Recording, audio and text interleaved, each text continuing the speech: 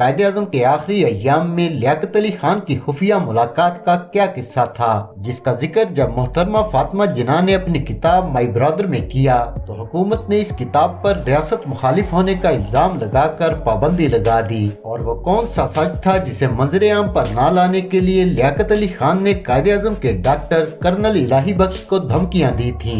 आज की इस वीडियो में हम इन तमाम राजों ऐसी पर्दा उठाएँगे, जिन्हें सियासी मसलहत के तहत तारीख की गर्द में दबा दिया गया। इन वाकयात से मुतालिक कायद आज़म के डॉक्टर कर्नल इलाही बख्श ने कायद के आखिरी अयाम से मुतालिक किताब लिखी और इस किताब का दिबाचा मोहतरमा फातिमा जना ने लिखा। किताब में कायद के इलाज में हुई कोताहियों को पहली बार आश्कार किया गया था, जिसमें कई पर्दा नशीनों के नाम आए, लेकिन एहतजाज के खौफ से लियाकत अली खान ने कर्नल इलाही बख्श की इस किताब पर पाबंदी लगा दी। डॉक्टर कर्नल इलाही बख्श लिखते हैं कि जब मर्ज की तशखीस हो गई तो मैंने एक जानब इलाज और खुराक में मुनासिब रद्दोबदल की और दूसरी जानब लाहौर से doctor Riaz Ali Shah, doctor S S Alam और डॉक्टर गुलाम अहमद को टेलीग्राम दिया कि वो ज़रूरी साजो सामान और सफरी एक्सरेज के आलात लेकर फ़ौरन जियारत पहुँचे। तीस जुलाई उन्नीस सौ अड़तालीस को खुदा खुदा करके जना का बाकायदगी से इलाज शुरू होने के इम्कान पैदा हो गए थे कि उसी दिन एक ऐसा वाक्य पेश आया, जिस पर आज तक खामोशी के पुरसरार पर्दे पड़े हुए हैं। और जो लोग इससे वाकिफ भी हैं, उनका यही इसरार है कि इस वाक्य को अभी भी राज ही रहने दिया जाए। ये वाक्य सबसे पहले मोहतरमा फातिमा जिना ने अपनी किताब माई ब्रादर में कलमबंद किया था। कायद के कत्ल से जुड़े लोगों की साजिशों पर पर्दा डालने के लिए सरकार ने कायद की सरकारी सवान हयात लिखने का फैसला किया। इस काम के लिए अंग्रेज़ सहाफी हेक्टर बलिथो का इंतखब किया गया। हेक्टर बलिथो ने जब कायद की सवान हयात लिखने से मुतालिक इनकी बहन मोहतरमा फातिमा जिना से मदद मांगी तो उन्होंने इनसे किसी भी किस्म का तावन करने से साफ़ इनकार कर दिया। हेक्टर बोलिथो वो सहाफी था जो सदारती इलेक्शन के अयाम में, अयूब खान के हक में मजामी लिखा करता था। मोहतरमा फातिमा जिना के तावन न करने के बावजूद, उन्नीस सौ चौवन में हेक्टर की किताब जिना क्रिएटर ऑफ़ पाकिस्तान मंजरेआम पर आई।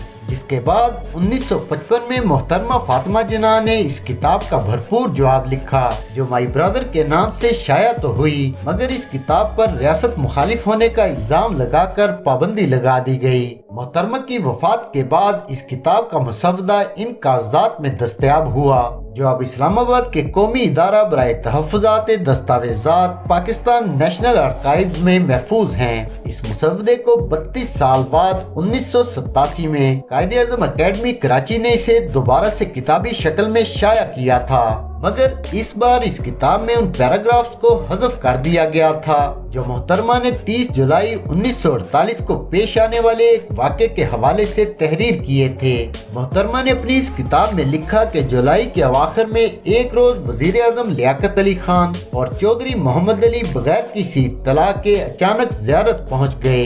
वज़ीर अजम ने डॉक्टर इलाही बख्श से पूछा की जिना के मर्ज के बारे में इनकी तशीस क्या है? डॉक्टर ने कहा कि इन्हें मोहतरमा फातिमा जना ने बुलाया है, लिहाजा वो अपने मरीज़ के बारे में सिर्फ़ इन्हें ही बता सकते हैं। लियाकत अली खान ने इसरार किया कि वो बतौर वज़ीर आज़म गवर्नर जनरल की सेहत के बारे में फिक्रमंद हैं। मगर तब भी डॉक्टर इलाही वक्त का मौकफ यही रहा कि वो अपने मरीज़ की इजाज़त के बगैर किसी को कुछ नहीं बता सकते।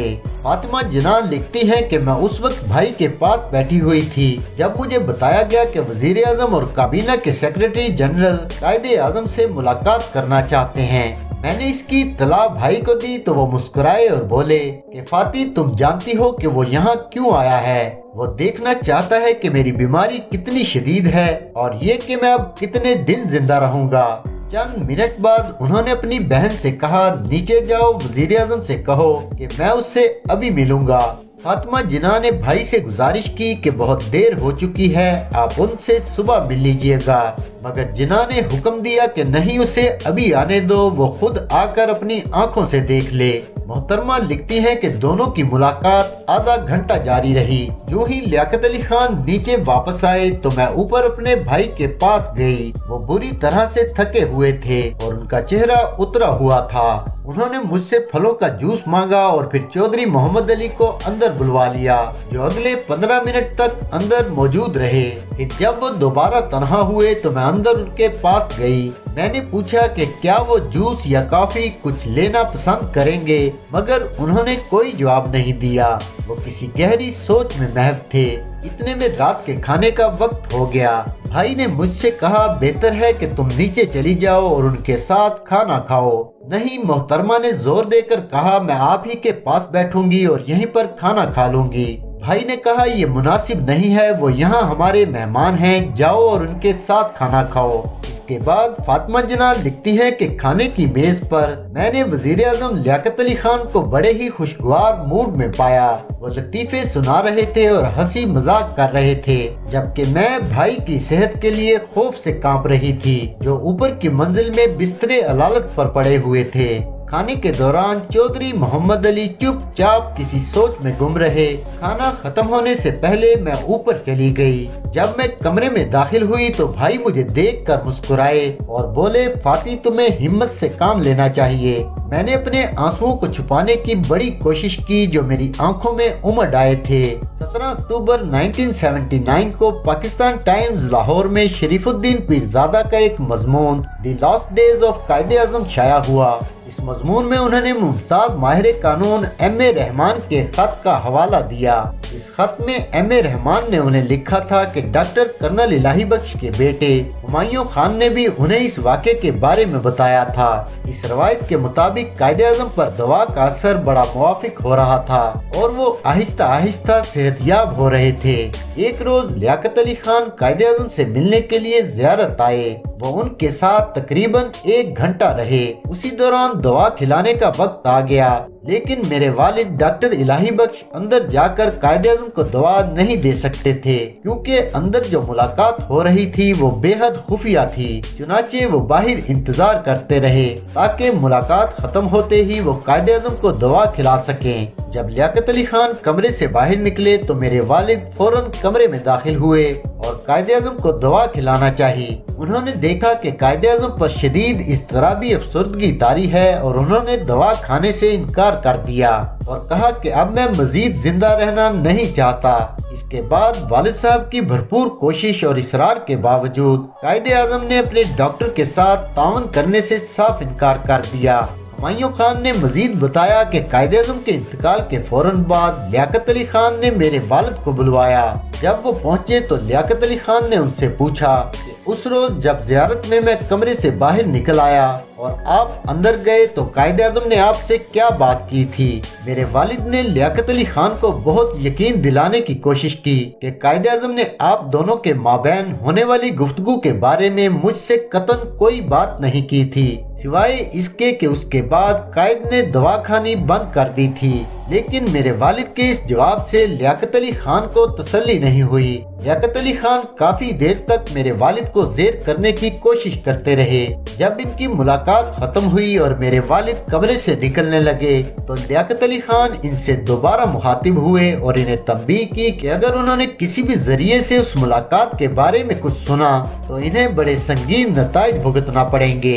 ये डॉक्टर कर्नल इलाही बख्श के बेटे हुमायूं खान की बयान करदा रवायत है। जो हम तक शरीफुद्दीन पीरजादा के तवसत से पहुँची, इसकी सेहत पर बहस की गुंजाइश हो सकती है, क्योंकि खुद डॉक्टर इलाही बख्श ने अपनी किताब कायदे आज़म के आखिरी अयाम में इससे मुख्तलिफ़ बयान दिया है। वो लिखते हैं कि जब वो नीचे उतरे तो वज़ीर आज़म से ड्राइंग रूम में इनकी मुलाकात हुई। वो उसी रोज चौधरी मोहम्मद अली के साथ कायदे आज़म की मिजाज पुरसी के लिए तशरीफ़ लाए थे।